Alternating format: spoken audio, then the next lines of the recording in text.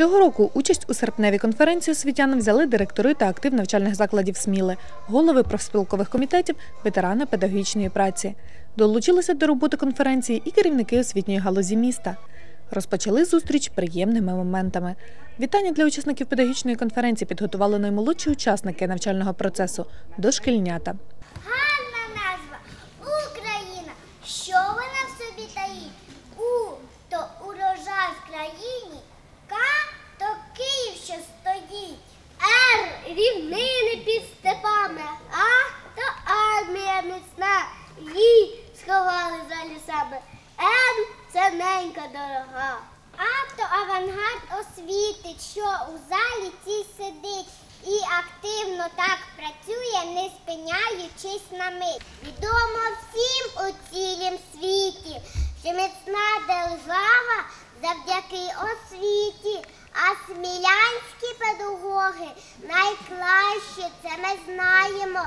Тому від щирої душі усіх ми вас вітаємо. Оскільки цього року на традиційну серпневу конференцію освітяни міста символічно зібралися за кілька днів після урочистого відзначення 25-ї річниці незалежності України, то перед початком роботи усі присутні хвилиною мовчання вшанували пам'ять тих, хто віддав своє життя за суверенність нашої країни. А до пам'ятника Небесної Сотні учасники зустрічі поклали квіти. Начальник управління освіти, молоді та спорту Наталія Незнанова наголосила, що перші уроки для смілянських школярів також пройдуть на патріотичні теми. Для учнів початкової школи проведуть уроки на тему Це наше і це моє. А учні середньої ланки та старшокласники говоритимуть про шлях від проголошення незалежності до нової України. З вітальним словом напередодні початку навчального року до педагогів Сміли звернулася і заступник міського голови Людмила Осейко. Я перше, що хочу побажати вам, це міцного здоров'я. Я хочу побажати вам гарних учнів, вдячних учнів.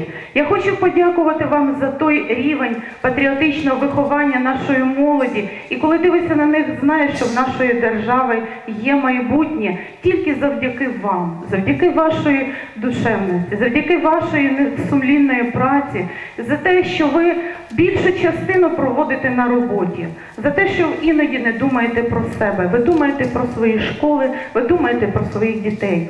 Миру, любові, затишку. Я бажаю вам всього самого найкращого. Ще хай навчальний рік принесе вам багато нових перемог, багато нових здобутків.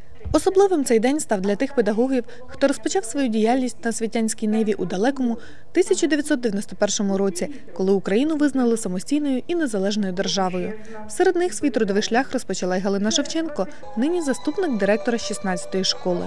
За всі роки незалежності не було, мабуть, ще такого складного свята, як нинішнє коли ми змушені знову виборювати право жити в вільній і незалежній батьківщині.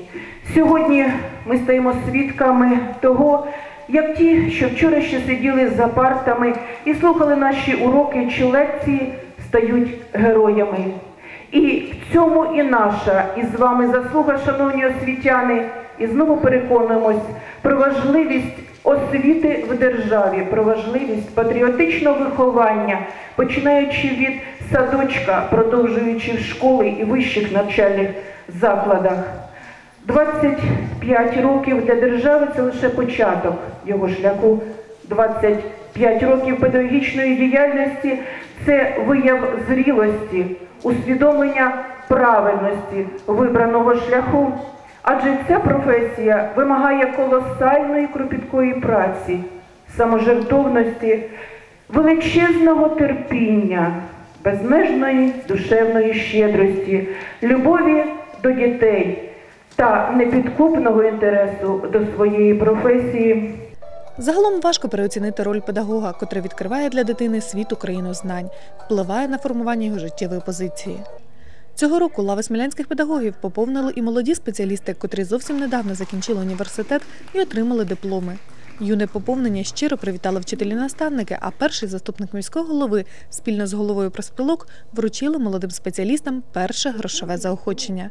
Результати роботи та досягнення минулого навчального року озвучила безпосередньо начальник міського управління освіти, молоді та спорту. Прийняті рішення міськвиконкому про заснування премії міського голови імені Казиміра Аполлоновича Заремби. Збільшено кількість стипендій міського голови до 15. Рішенням сесії міської ради затверджені програми харчування на цей рік, програма оздоровлення та відпочинку дітей та молоді. В мережу управління внесено центр підготовки та перепідготовки робітничих кадрів як розпорядника бюджетних коштів третього ступеня. Внесені зміни до програми підвищення якості природничо-математичної освіти, згідно якої у співфінансуванні з обласним бюджетом придбано навчально-розвиваючий комплекс Лего та комп'ютерний клас. Прийнято програму національно-патріотичного виховання, згідно з якою відкрито центр національно-патріотичного виховання при будинку дитячої та юнацької творчості. Та чи не вперше були виділені кошти на проведення триденних польових зборів та гри Сокіл Джура. Завдяки тому, що ми перші в місті почали закупівлю товарів через електронну систему Прозоро та небайдужості до проблем освітян народного депутата України Рудика Сергія Ярославича, депутатів обласної ради, місцевої влади та депутатського корпусу, матеріально-технічна база закладів поповнилась на 67 комплектів комп'ютерної техніки, 15 мультимедійного обладнання, 4 плазмових телевізори, 5 принтерів, 29 електричних плит, комплект Лего. В двох навчальних закладах встановлено індивідуальні котли опалення. У 13 закладах проведено капітальні ремонти, е, ремонт покрівлі дахів, системи опалення, санвузлів, замінено віконні блоки. У 16 закладах роботи продовжуються. Свої досягнення у напрямку турботи про найменших навчальні заклади продемонстрували під час перегляду відеоматеріалу. Нині, зазначила Наталя Олексіївна, усі навчальні заклади готові до нового навчального року. Проте є над чим працювати. Серед завдань на наступний рік покращення матеріальної бази навчальних закладів міста, поповнення смілянських шкіл комп'ютерною технікою та придбання шахового класу. Але незважаючи на труднощі, освіта Сміли продовжує впевнено рухатися шляхом розвитку, і серед основних та найвагоміших завдань педагогів залишається своєчасний розвиток самостійної, життєво компетентної і творчої особистості. Інна Шульга, Олег Салтиков спеціально для агенції Теленовин.